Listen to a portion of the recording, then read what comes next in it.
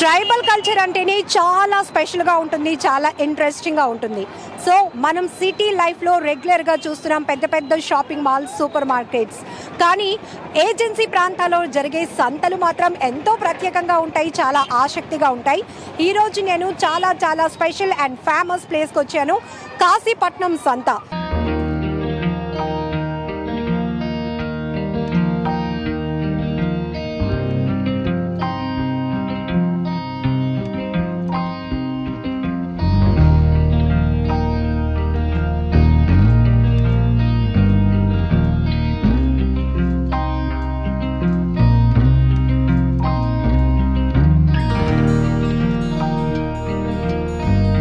గిరిజన ప్రాంతాల్లో జరిగే అన్ని సంతల కన్నా కాశీపట్నం సంత అంటే చాలా ఫేమస్ అనమాట ఇక్కడ దొరకని వస్తువు ఉండదు. అలాగే గిరిజనులకు సంబంధించిన వాళ్ళ ఆచార వ్యవహారాలు కట్టుబాట్లు ఎలా ఉంటాయి? అలాగే వారు తినేటటువంటి ఆహారపు అలవాట్లు ఎలా ఉంటాయి? వారు పండించే పంటలేంటి? వాళ్ళ రెగ్యులర్ లైఫ్లో జరిగేటటువంటి మార్పులేంటి? ఇవన్నీ కూడా మనం ఈ కాశీపట్నం సంతలో గమనించవచ్చు చాలా ఇంట్రెస్టింగ్గా ఉంటుంది. సో ఇప్పుడైతే మనం అల్లూరి సీతారామరాజు జిల్లా అనంతగిరి మండలం కాశీపట్నం పంచాయతీ పంచాయతీలో ఉన్నాం. కాశీపట్నం సంత ప్రతి బుధవారం ఉదయం ఆరు నుంచి మధ్యాహ్నం రెండు వరకు. ఒకవేళ డిమాండ్ అయితే ఆరు నుంచి సాయంత్రం నాలుగు గంటల వరకు కూడా ఈ సంత కొనసాగుతుంది. సో నేనైతే ఇప్పుడు మీ అందరికీ కూడా కాశీపట్నం సంత చూపిస్తాను. రండి.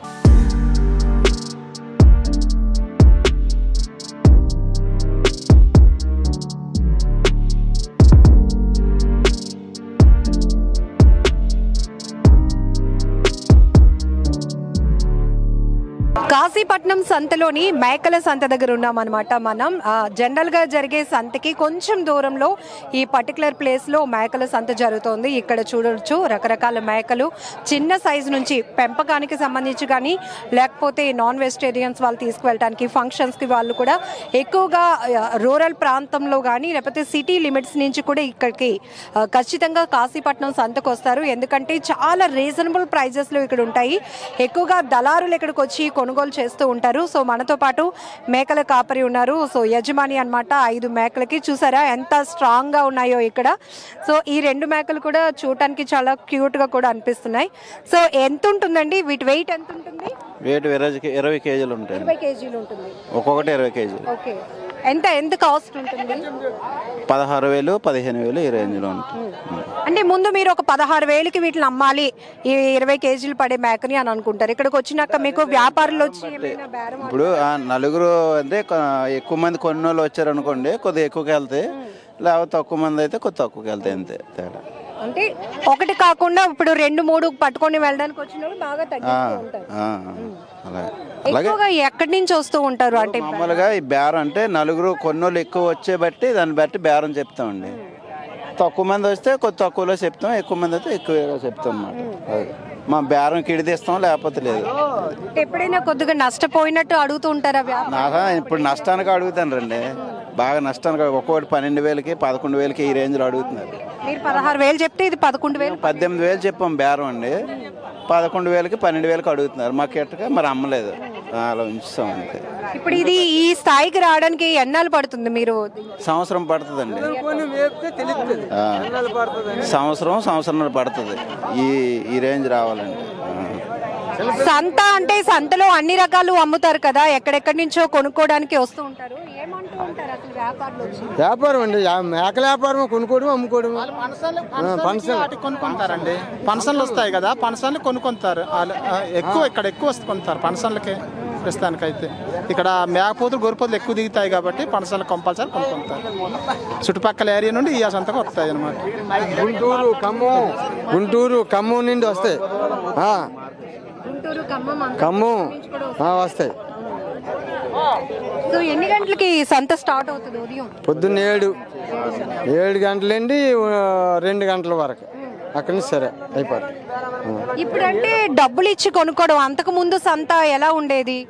డబ్బులు అంతకుముందు ఇలాగే మనం ఎవరైనా కొనుక్కోవడం. ఇప్పుడైతే అన్ సీజన్ అయిపోయింది కదండి పెద్దగా రేట్లు లేవు. ఇన్నాళ్ళు అయితే మా పనసల టైం మంచి సీజన్ ఉండి మంచి అమ్మివి ఇప్పుడు తెచ్చినవి కూడా అలాగ స్టాక్ ఉండిపోతున్నాయి. ఇప్పుడైతే ప్రస్తుతానికైతే అమ్మట్లేదు.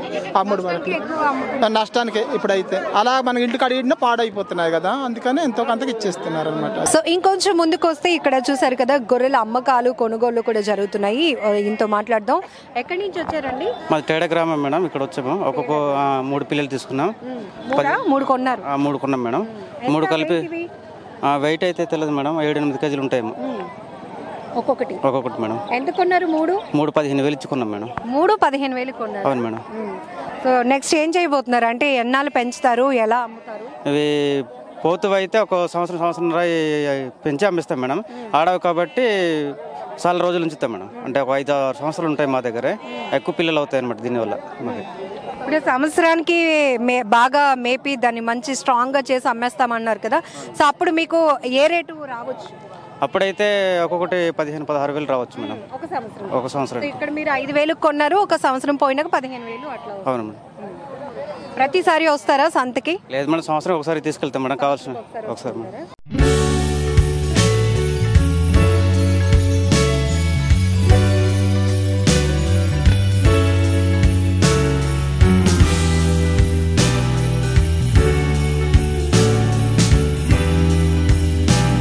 ప్రతి బుధవారం జరిగే కాశీపట్నం సంతలో గిరిజనులు చుట్టుపక్కల ప్రాంతాల నుంచి అందరూ కూడా వచ్చి ఇప్పుడు కల్చర్ కూడా అప్డేట్ అవుతుంది. ప్రతి ఒక్కరూ సిటీ కల్చర్ని కూడా కొంచెం నేర్చుకుంటున్నారు కాబట్టి సో అప్డేటెడ్ వెర్షన్స్లో కూడా మనకి ఇక్కడ బట్టలన్నీ కుట్టించుకోవటం వాళ్ళకి పిల్లలకి కావాల్సిన మోడర్న్ డ్రెస్సులు కూడా తీసుకెళ్ళటం జరుగుతుంది గిరిజనులు. ఇక్కడ కొంతమంది గిరిజనులు కూడా టైలరింగ్ చేస్తూ ఉపాధి పొందుతూ ఉంటారు. మోడల్ వీక్లీ మార్కెట్లో ఒక టైలర్ గారితో మాట్లాడిద్దాం. ఎందుకంటే గిరిజనులు అంటేనే వాళ్ళ సాంప్రదాయం చాలా ఆసక్తిగా అనిపిస్తూ ఉంటుంది అటువంటిది ఇప్పుడు మోడల్ మార్కెట్ కూడా వీరు ఏర్పాటు చేసుకున్నారు అంటే సో అప్డేటెడ్ వెర్షన్లో ఉన్నారు. అలాగే కొత్త కొత్త రకాల అంటే డిజైన్లో వాళ్ళు బట్టలు కుట్టించుకోవడం అన్నీ జరుగుతున్నాయి. సో ఈయనతో మాట్లాడదాం. నమస్తే అండి మీ పేరు? మా పేరు పైట్రాజ్ అండి. పైడ్రాజ్ గారు ఎన్నాళ్ళ నుంచి ఈ సంతలో మీరు టైలర్గా పని పన్నెండు సంవత్సరాలు. పన్నెండు సంవత్సరాలు. అయితే మీకు బాగా ఇన్ఫర్మేషన్ ఉంటుంది.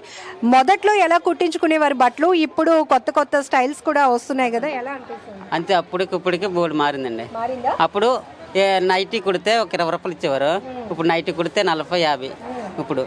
అప్పుడు చీర జాకెట్ ఒక చీర కుడితే కనీసం చీర జాకెట్ కుడితే నూట యాభై రూపాయలు వంద రూపాయలు ఆ- అప్పుడు. ఇప్పుడైతే రెండు వందలు రెండు వందల యాభై.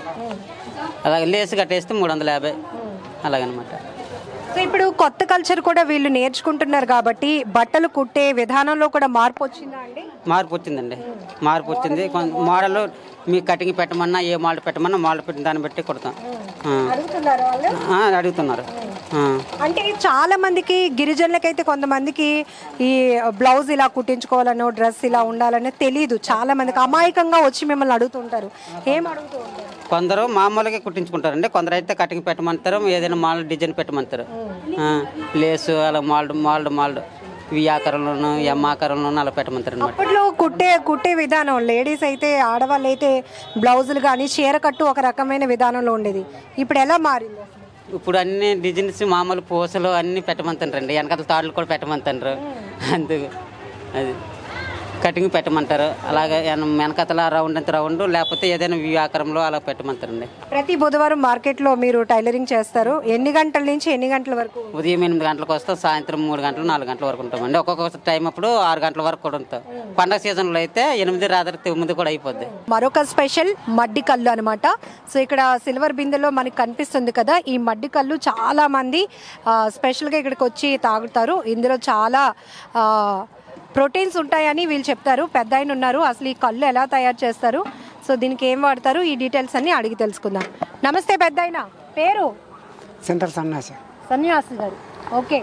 ఎలా చేస్తారు ఇవి? మడ్డి కళ్ళు ఎప్పటి నుంచి చేస్తున్నారు అడవి కాడ ఎన్ని ఏళ్ళు ఉంటే అన్ని ఏళ్ళు కలుపుతారమ్మా.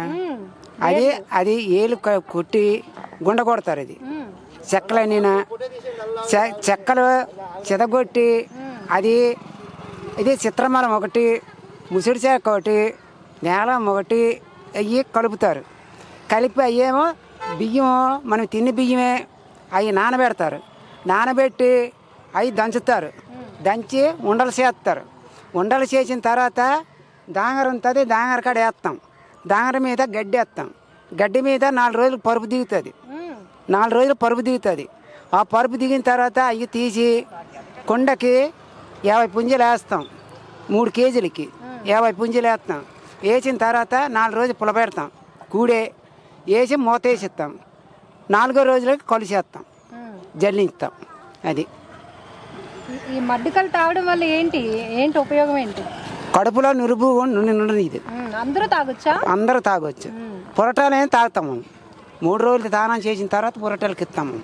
మంచిది. మంచిది. అది పొరటాలకి ఏరి సొగ్గది ఉండదు తలకట మంది ఒకటే పడతాము. ఇంగవ బెల్లము అంతే పొరటాలకి. మడ్డి మడ్డికాడు తాగొచ్చు. పొరటాలు తాగొచ్చు. తొమ్మిది రోజుల దాకా తాగొచ్చు. ఈరా జ్వరం ఉండదు పిల్లకి. పిల్లకి కానీ పిల్లడికి కానీ అంత ఆరోగ్యం ఉంటుంది ఇది. మొత్తం వస్తుందా? మొత్తం వస్తుందమ్మా వస్తుందా చిన్నది వస్తుంది నువ్వు మూడు ఒక క్వార్టర్ తాగిన బదులు ఈ రెండు కుటుకలు తాగితే అప్పుడు మొత్తం ఇస్తుందమ్మా నవ్వుతావాడు తాత. మరి అలాగే చెప్తాను కదా రే అందుకే అందరూ తాగుతారా? అందరు తాగుతారు. మీ అంటే ఈ గిరిజన గ్రామాల్లో ఎక్కువ ఆడవాళ్ళు ఇదే ఆడవాళ్ళు మగవాళ్ళు ఇదే తాగుతారు. నాటు తాగరు. బ్యాంది బ్యాంది ఇది తాగుతారు. అంతే. ఎప్పటి నుంచి తయారు చేస్తున్నారు ఇది? ఇది ఎక్కడ మా పుట్టక ముందు తయారు మా తాతలు తండ్రులు కంచి. తాతల నుంచి వస్తుంది. వస్తుంది. దీనికి మాత్రం పోలీసు వాళ్ళు పోలీసు వాళ్ళు మరి ఏడు చెయ్యరు వీళ్ళు సారా కేటకి అయితే పట్టుకుంటారు. దీన్ని పట్టుకోరు. సుమారు ఎన్ని రకాల వేర్లు అంటే అడవిలో ఉన్న వేర్లన్నీ కలుపుతామంటున్నారు కదా. ఎన్ని రకాల ఈ చెక్కలు మనకు తెలియదమ్మా. ఒక ఒక అతను ఉంటాడు. మందు తెచ్చి చెక్కలు తెచ్చి ఆరబెడతాడు. అక్కడ గుండ కొనుక్కుంటాం కేజీ గుండ ఎనభై డెబ్బై రూపాయలు ఉంటుంది గుండ. అది కొన్ని తర్వాత ఆ గుండ ఇంతకు అది వేస్తారు. నాలుగు కేజీలకో మూడు కేజీలకో ఎంతో సరిపోనంత వేస్తారు. అవి బియ్యం నానబెట్టి చిత్రమాలము ముసిడి చెక్క కసిమింద ఈ కలుపుతారు ఈ చెక్కలు. చక్కెర కలిపి నానబెట్టిన తర్వాత అప్పుడేమో బియ్యం రోడ్డు కడేసి దంచుతారు. అది జల్లెడు పెట్టి జల్లిస్తారు మన పిండి జల్లిడి. అది జల్లిన తర్వాత అప్పుడే ఉండలు చేస్తారు. ఇంతేసి ఉండలు. ఇలాకాడ ఉన్నాయా ఉండలు చూసారా? చూడలేదు వెళ్తాం. అలాగా అవి ఉండలు చేసిన తర్వాత అప్పుడు దీనికి కలుపుతారు. ప్రతి వారం తెస్తారు మీరు. తెస్తామండి తెస్తామండి. ఎన్ని బిందెలతో తెచ్చారు? ఈ రెండేనమ్మా. ఇంకెక్కడ అయిందమ్మా లేట్ అయిపోయింది. లేట్ అయింది. సంతేదమ్మా సీజన్ ఉంతే కదా. అంటే దీంతో ఎంత ఎంత తీసుకుంటారు ఇది పది రూపాయలు అమ్మా పది రూపాయలు? ఇది పది రూపాయలు. ఎన్ని తాగొచ్చు? ఒక మనిషి? రెండు కుడకలు తాగొచ్చు ఒక కుడక తాగొచ్చు. ఎక్కువ తాగితే మొత్తం వస్తుంది రెండు గిన్నెలు తాగుతాడు. ఆకలికి ఆకలికి మంచిదమ్మ ఇది. నువ్వు యాభై రూపాయలు టిఫిన్ చెయ్యు ఒక కుడక కళ్ళు తాగు. అది సరిపోతుంది. ఇంటికి వెళ్ళి దాకా ఆకలి కాసిస్తుంది ఇది.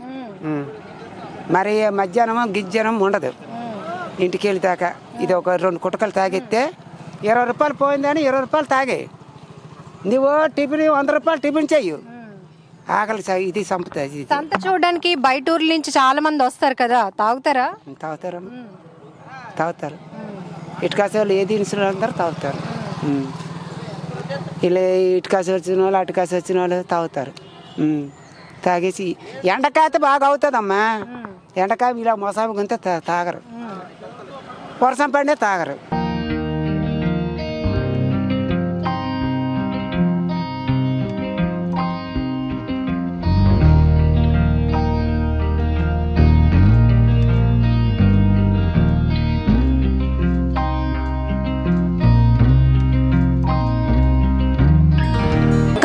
విశాఖపట్నం సంతలో మనం చూడాల్సినవే కాదు తెలుసుకోవాల్సిన నాలెడ్జ్ కూడా చాలా ఉంటుంది.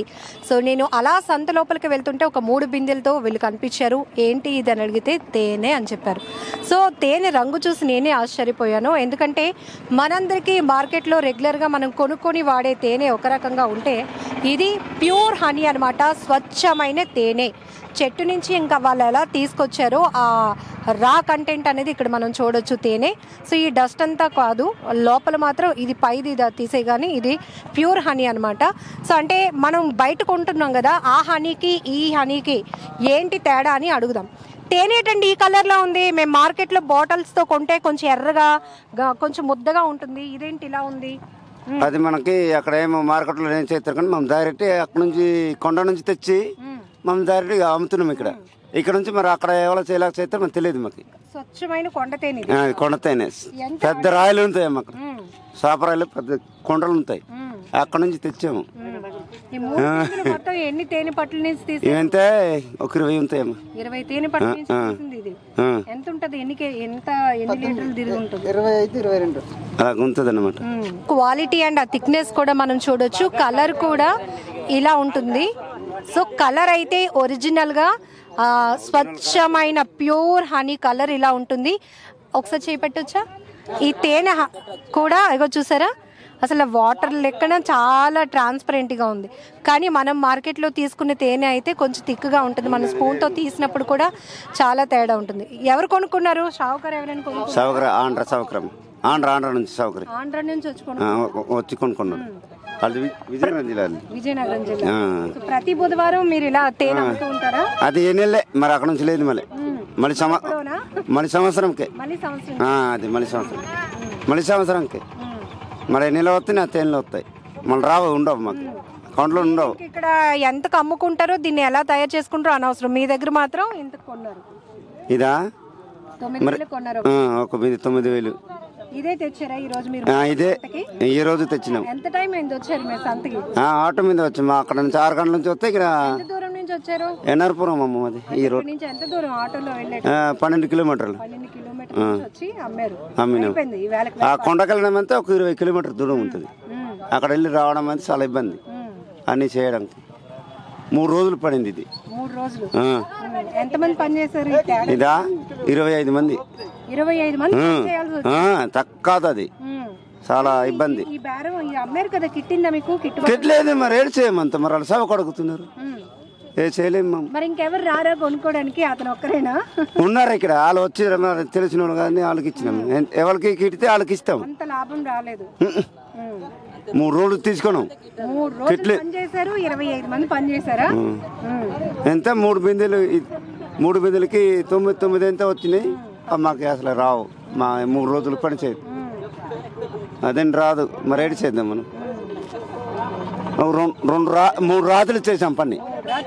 రాత్రి పగలు తీయడం కావదు. పగలు తీసిస్తే కరుతాయి మాకు. అవి కరిస్తే మాత్రం చచ్చిపోవడమే. అన్ని ఉంటాయి మరి. అలా గుంతాయి అన్నమాట ఇంకా బుక్. రాత్రి పూటే మాకు తీసి తిని. అలా తేనెకి మంచి గిరాకీ ఉంటుందా? ఏజెన్సీలో మీ ఏరియా నుంచి తేనెకి మంచి గిరాకీ ఉంటుందా? ఉంటుంది. మాకంటే మేము చెట్టు కూడా వెళ్ళి తీయము. సాపరాయి దగ్గర పెద్ద సాపరాలు ఉంటాయి. అక్కడ దిగినవి తీస్తాము. అక్కడికి త- నీళ్ళు ఎటు తగలవు వర్షం తగలదు అక్కడ. ఆడ దగ్గర దిగి తీస్తాం చాలా ఇబ్బంది అది. బాధే. కిందికి మీందికి మనుషులు ఉండాలి తీయాలి. చాలా బాధే. అందుకే మూడు రోజులు పడింది. మూడు బిందెలకు మూడు రోజులు పడింది. మన వెదురు కర్రలు ఉండాలి. ఏటేంటి పట్టుకొని వెళ్తారు? తేనె తేయడానికి? ఆ బిందెలు ఒక తాడు ఉంటుందమ్మా. తాడు వెదురు వెదురుకి తెలుసా వెదురు కొమ్ము ఉంది. దా- అవి తీయాలి. ఒక ఇరవై కర్రలు ఉండాలి. ఆ కర్రలు తెచ్చి నారలు కట్టి ఆ మంచికి ఇక్కడ తాడు కట్టేసి అన్నీ చేసుకొని ఉంటాయి. అక్కడ మేము చేయము రాత్రిపూట దిగినోడికి కరుస్తాయి. మా మీద వాళ్ళు కరవు. అగ్గు ఉంటుందమ్మా ఇంత ఇంత కడతాం కర్రలు. కర్ర కట్టి దించితే ఆ పొగకి వెళ్ళిపోతాయి. వెళ్ళిపోతే మరి కర్ర ఎటు చేయవు ఎట్ చేయవు ఆ దిగినోడికే కిందికి ఉన్నోడికి కరుస్తాయి. మాకు మీద వాళ్ళు అంత కరవు. పగలపూట అయితే అందరికీ కరుస్తాయి. పగలపూట అయితే మాకు సాలేము రాత్రిపూటే మేము ఇస్తాను.